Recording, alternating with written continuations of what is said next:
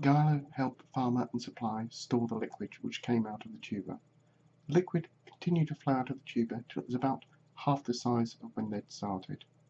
Whether there was much more liquid inside or some more solid fibres were left inside the tuber would have to wait until later.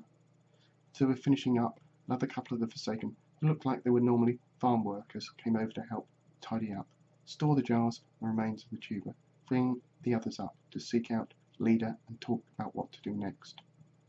As the trio moved back to the leader's pottery workshop, it appeared that word had already gone on ahead of them. The children scampering around their feet being the most likely candidates for carrying the news about the settlement. Though the elder ones seemed to be employed in some kind of work, the younger ones seemed allowed the freedom of the settlement, which of course they used to indulge in various games. However, it also be used for running messages and carrying things to the fields.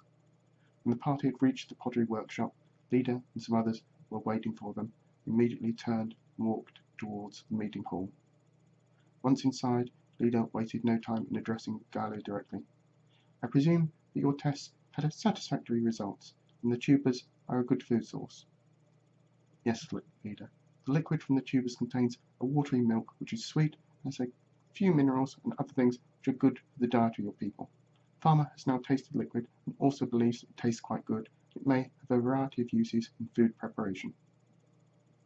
I can say that though the food tastes some getting used to, Farmer followed on from Giallo, the drink is smooth and sweet, certainly not dangerous in any way that I can detect.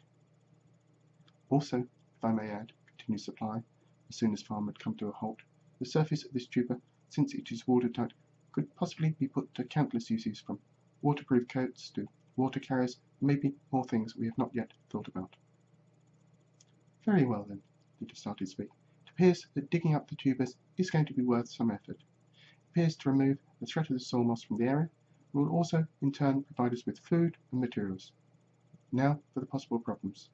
Toolmaker, can you tell us how long the current tools are going to last we dig up all the tubers in the area of the farms, and if they're damaged or worn, how long will that take to repair?